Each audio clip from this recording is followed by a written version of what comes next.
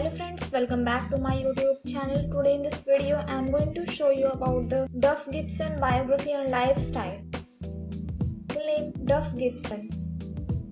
Born on 11 August 1966 and age is 55 years old. Duff Gibson is a Canadian skeleton racer who competed from 1999 to 2006. He was born in Vaughan, Ontario. His father was born on 13 December 1937.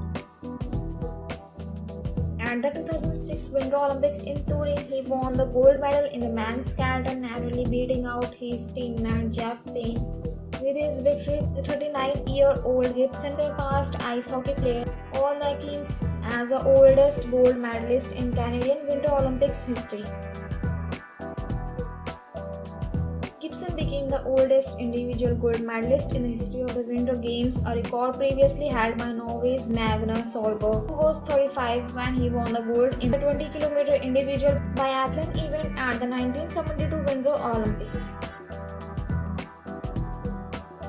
Gibson also finished 10th in the men's skeleton event at the 2002 Winter Olympics in Salt Lake City. He also won two medals in the men's skeleton event at the FIVB World Championships with a gold in 2004 and a bronze in 2005. So friends, I hope you like this video. If you like this video, please hit like the button and subscribe my YouTube channel. Thanks for watching this video.